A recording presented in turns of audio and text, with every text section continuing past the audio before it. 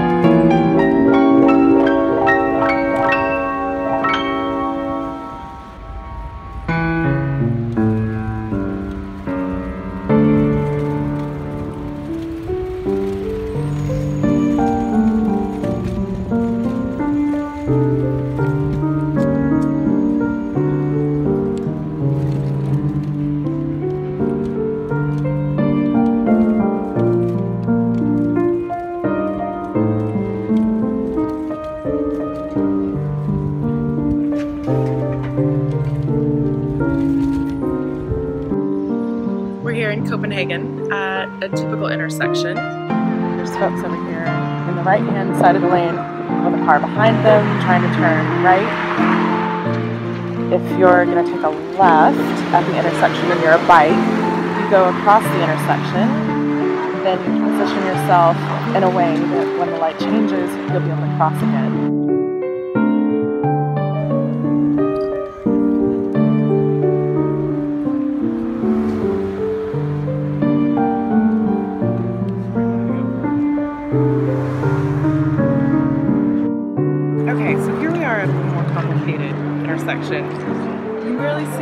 Corner over there, there's a little market going on. We've got people of all ages coming to the market.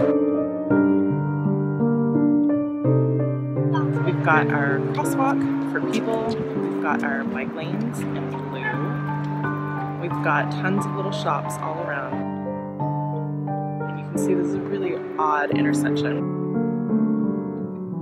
There's two things I really love about this intersection. One is the way that we treat our bike path. You can see here, if you're about to turn, you've got your own traffic signal that tells you that you, the cyclist, can now turn left. Um, and it's well timed with the pedestrians walking across the street.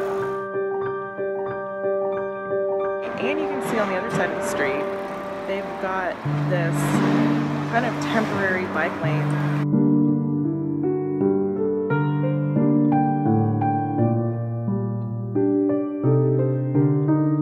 There's blue paint where there's areas that you should expect cyclists and it's not a raised cycle track. And then the sidewalk is also a separate grade.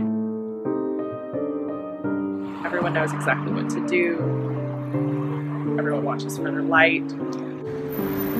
Cars pause for bicyclists. Bicyclists pause for pedestrians and everyone's safe. Works seamlessly, it's so complicated here.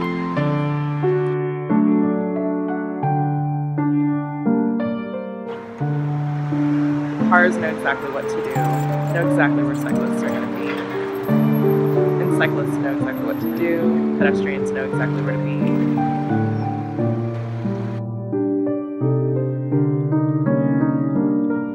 and there's tons of bikes parked everywhere.